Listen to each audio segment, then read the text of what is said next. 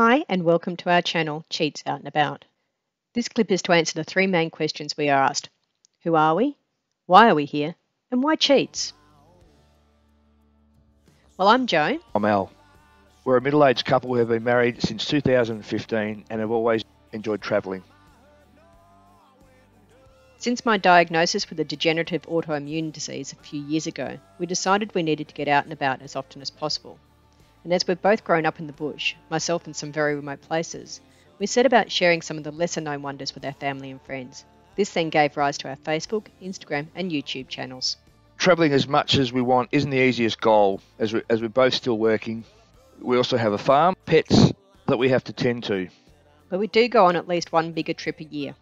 along with as many weekenders and, and day outings as we can squeeze in.